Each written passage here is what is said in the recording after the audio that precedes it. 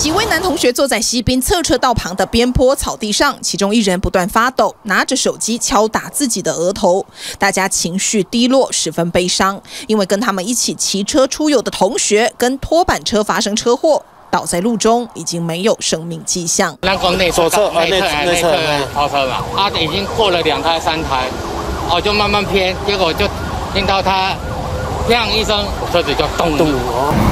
意外地点在西滨苗栗后龙北上一百零七公里处的平面侧车道上。警方调查，十号上午九点左右，一辆拖板车载着怪手准备到前方的工地施工，行进间明明右边就有机车道，一开始却有三辆机车不知道什么原因从左侧超车，接着第四辆要通过时，疑似机车压到柏油路跟水泥盖的高低落差，超车不慎摔车倒地时遭到拖板车碾过，跟在后方的第五个学生就这样目击前。前方同学被碾，现在现在拢开开拢开开啊，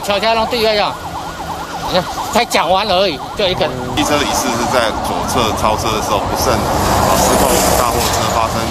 啊擦撞啊当场死亡。警方调查拖板车驾驶没有喝酒，查看他的行车记录器，驾驶当时正常向前行驶，但因为现场没有监视器，无法查看学生摔车遭碾的过程，肇事原因跟责任厘清，要后续调查。不过同行的同学目击事发过程，有看到朝夕相处的朋友就这样倒在地上，不止惊魂未定，更难以接受意外事实。TVBS 新闻谢谷金苗栗采访报道。请支持一个专门报道国际新闻的全新 YouTube 频道 TVBS 国际 Plus，扩大视野，掌握趋势，请订阅并开启通知小铃铛。